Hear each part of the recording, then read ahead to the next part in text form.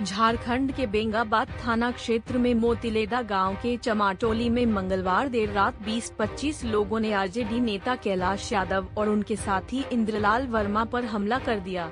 अपराधियों ने दोनों की लाठी डंडों से जमकर पिटाई की जिससे वे गंभीर रूप से घायल हो गए।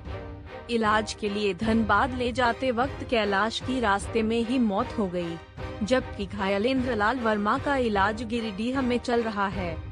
इंद्रलाल वर्मा प्रभारी मुखिया राजकुमार वर्मा के पिता बताए जा रहे हैं।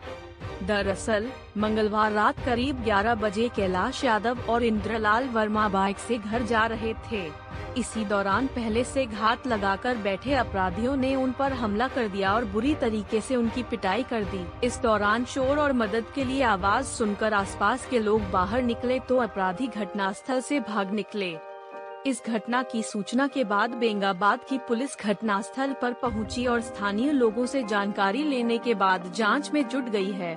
वहीं खबरों के मुताबिक, एक और बात सामने आ रही है कि कैलाश के भाई छोटू यादव ने हमलावरों की पहचान की है। उन्होंने पुलिस को इस संबंध में बयान देकर केस दर्ज कराया है।